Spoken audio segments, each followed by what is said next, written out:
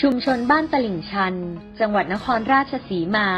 เป็นชุมชนในพื้นที่ต้นน้ำมูล พื้นที่แห่งนี้เคยมีทรัพยากรประมงน้ำจืด ที่อุดมสมบูรณ์ ต่อมาสัตว์น้ำมีปริมาณน้อยลง สาเหตุสำคัญคือ การจับปลาที่อพยพไปสืบพันธุ์วางไข่บริเวณต้นน้ำ ซึ่งเป็นการทำลายโอกาสในการสืบพันธุ์วางไข่ตามธรรมชาติ และลดปริมาณลูกพันธุ์สัตว์น้ำในอนาคตลง รวมไปถึงการใช้เครื่องมือประมงที่มีประสิทธิภาพสูง เช่น การใช้ยอขนาดใหญ่จับปลาในฤดูสืบพันธุ์วางไข่ เมื่อสัตว์น้ำที่เคยอุดมสมบูรณ์ลดน้อยลง ส่งผลกระทบกับชาวบ้านที่อาศัยอยู่บริเวณต้นน้ำมูลโดยตรง หากไม่มีการเร่งฟื้นฟูทรัพยากรสัตว์น้ำขึ้น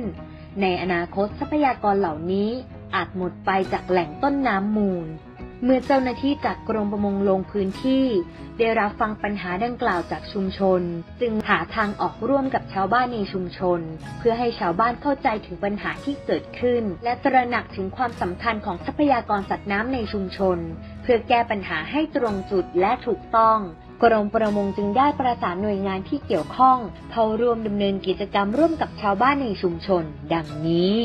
1. กิจกรรมการสร้างเขตอนุรักษ์พันธุ์สัตว์น้ำ โดยระดมความคิดเห็นของผู้เกี่ยวข้อง เพื่อวางแผนการสร้างเขตอนุรักษ์พันธุ์สัตว์น้ำ ปัจจุบันมีการดำเนินการจัดระเบียบพื้นที่การทำประมงของเครื่องมือยอประจำที่ จากที่เคยกีดขวางการสัญจรทางน้ำในลำน้ำมูล ได้ย้ายออกนอกเขตอนุรักษ์ และไม่กีดขวางการสัญจรทางน้ำ 2. กิจกรรมการรณรงค์เพื่อกำจัดและควบคุมประชากรปลาผู้ล่า หรือปลาชะโด 3. กิจกรรมการปลูกจิตสำนึกการอนุรักษ์ทรัพยากรประมงให้กับเยาวชนในพื้นที่ ให้ความรู้เรื่องการอนุรักษ์ทรัพยากรประมงแก่เด็กและเยาวชน 4. กิจกรรมการจัดตั้งกลุ่มองค์กรชุมชนประมงท้องถิ่น เพื่อดูแลและบริหารจัดการด้านการประมง บริเวณต้นน้ำมูลตอนบนของอ่างเก็บน้ำเขื่อนมูลบน 5. กิจกรรมการเฝ้าระวังการทำผิดกฎหมายประมงโดยสมาชิกในชุมชน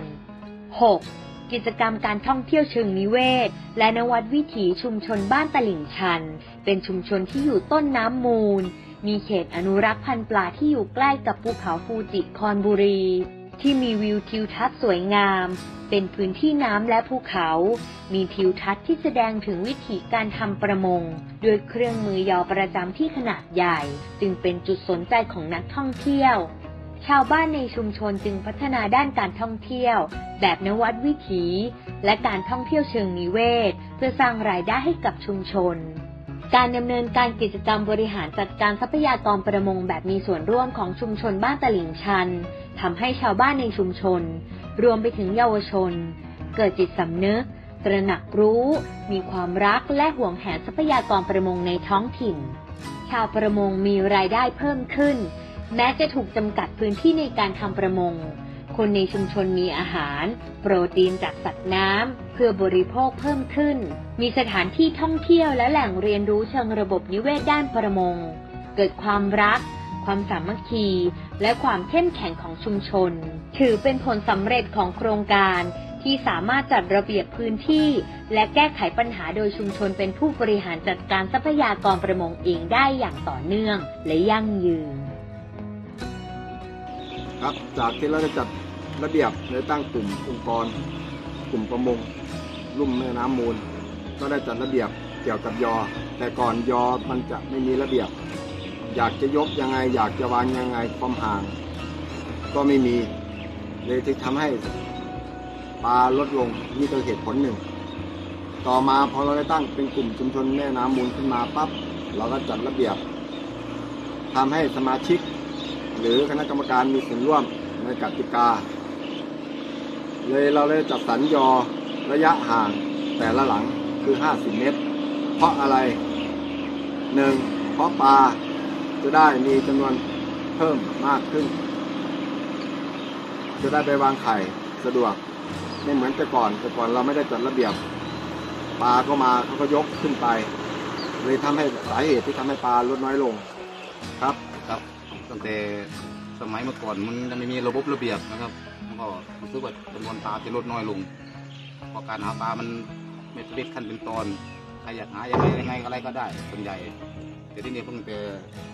ตั้งจะตั้งองค์กรชุมชนประมงท้องถิ่นขึ้นมาเนี่ยทางผู้ใหญ่แล้วก็ทานแล้วก็ทางเจ้าหน้าที่ของกรมประมงเข้ามาวางระเบียบให้มันพอดีนะครับมันเพราะว่าปลา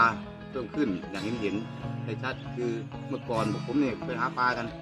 ได้วันละ ห้าถึงหกโลเจ็ดโลอย่างมาก แล้วนี่ขึ้นเป็นประมาณสามสิบโลหรือสี่สิบโลต่อละวัน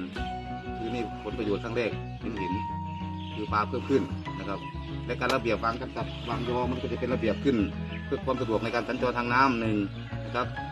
สองคือปลาจะได้ขึ้นมาวางไข่สะดวกขึ้นเหมือนทางท่านประธานว่านะครับอันนี้คือเห็นชัดเจนอยู่นะครับและอีกส่วนหนึ่งคือทำให้พวกเรานะมีรายได้รายได้เพิ่มขึ้น นะครับจากรายได้เล็กๆน้อยๆนะครับตัวนี้ก็มาได้เยอะก็บอกในตัวได้เองนะครับ เหมือนจับปลาสมัยก่อนครับ